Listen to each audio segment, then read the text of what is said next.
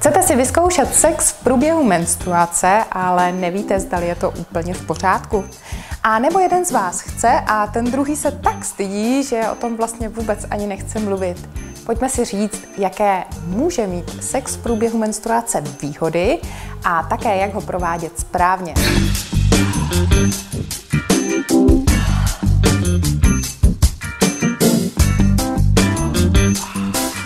I dnes jsou bohužel ještě stále země, kde je menstruující žena považovaná za nečistou a je v takovém období vykázána mimo svůj dům, mimo svou rodinu.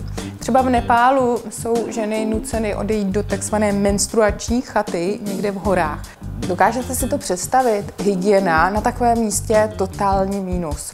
Samota, izolace, taky velké mínus. I když člověk občas ocení klid, ale přeci jenom je to, e, nastává vlastně i pocit studu a určité viny díky tomu vyhoštění. To je taky velké mínus. A když vezmete v potaz to nebezpečí, které v těch horách je a které může samotné ženské hrozit, tak celkem dává smysl, že se ženy v jedné vesnici se synchronizovaly v tom cyklu a menstruovaly najednou, protože v té chatě pak nemusely být samotné. No, nic z toho my tady řešit nemusíme.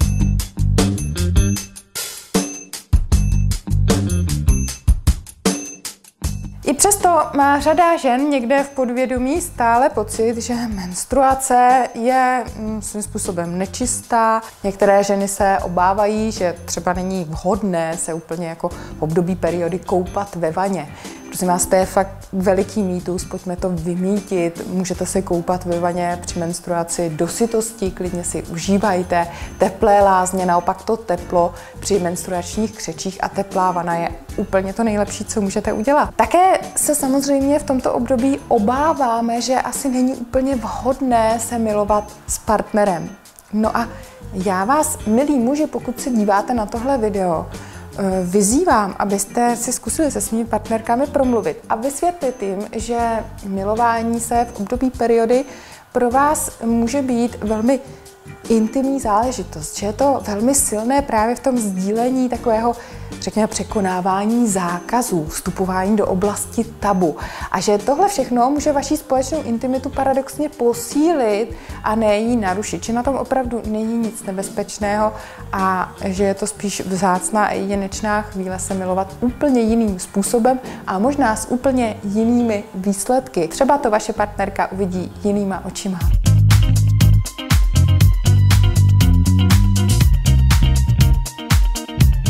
No a jak tedy správně na to?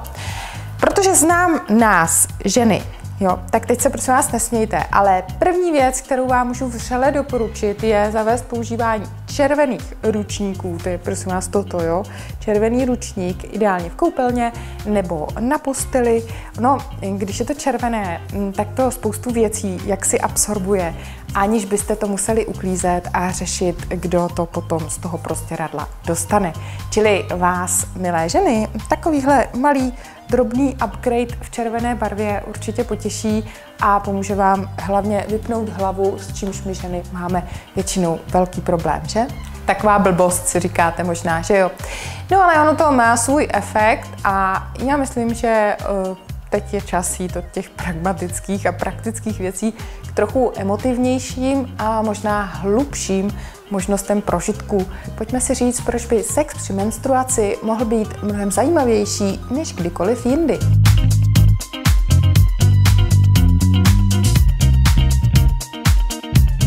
Obecně se dá velmi dobře vypozorovat celkem pravidelně v rámci cyklu, že řada žen je těsně před menstruací nebo v období krvácení mnohem živočišnější, že se tak jako chováme víc tělesně, víc smyslně, víc vnímáme. Máme mnohem citlivější čich, vnímáme mnohem víc pachy a silněji a daleko lépe si uvědomujeme svoje vlastní tělo.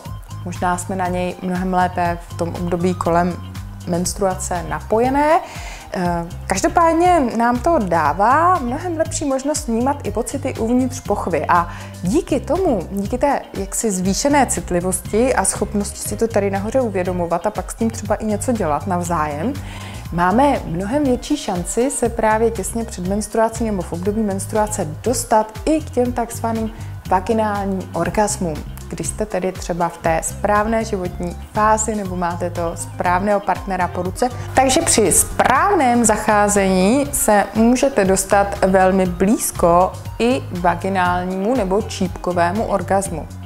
Ale co je to správné zacházení, že? A jak tomu jít naproti a jak ženě, která je řekněme v období menstruace, jak jí třeba pomoci nebo jí usnadnit vaginální orgasmy a dostat se vlastně v období krvácení možná za hranice běžných prožitků. Tohle všechno se dovíte v pokračování tohoto videa, které najdete na www.sexpomlčkacafe.cz když se zaregistrujete do tohoto programu, získáte přístup zdarma vlastně do celého archívu Sex Café, kde je přes 40 hodin různých videí, typů, triků, rad, informací, doporučení a hlavně odpovědí na vaše otázky, na které se mě ptáte na Facebooku nebo na našich stránkách. A v tom archivu vy můžete jednak brouzdat celý týden zdarma a jednak se můžete právě podívat i na konec tohohle videa, kdy najdete praktické typy, jak se s partnerkou při menstruaci dostat o něco blíž po malých kružcích, o něco blíž tomu vaginální orgasmu.